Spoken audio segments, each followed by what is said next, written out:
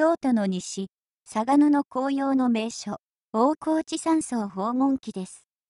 天竜寺北門から竹林の道を北に、佐賀小倉山に向かいます。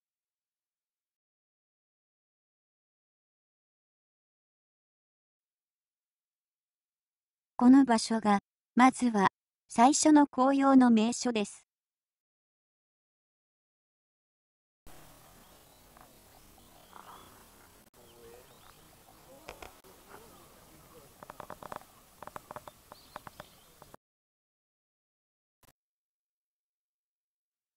大乗閣は、京都市内を広く見渡し、伊吹山下方の小室仁和寺から京都タワーまで見渡せます。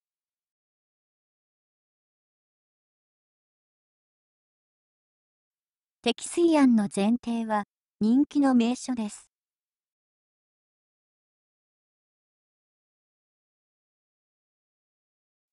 積水庵の軒先ですが、清水が竹豊を伝わって水滴になって流れ落ちています。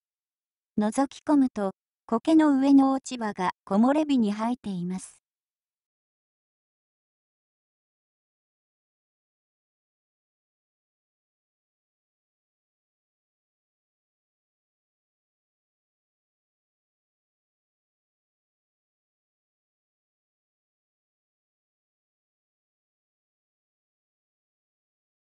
適水庵のすぐ横から、きつい登りがあり、京都市のほぼ全体が見渡せる市内展望台があります。木戸です。足元に落ち葉がほとんど見当たらないのに感心します。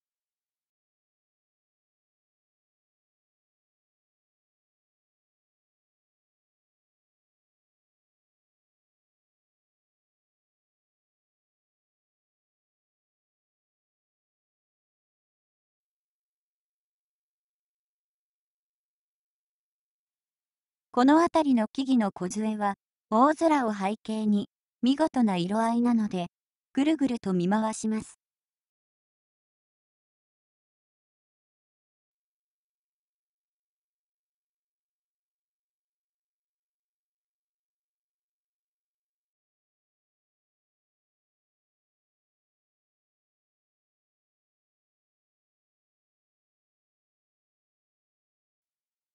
森から嵯峨野の風が梢を吹き抜けて紅葉がざわめいています。ここが最後の紅葉の名所です。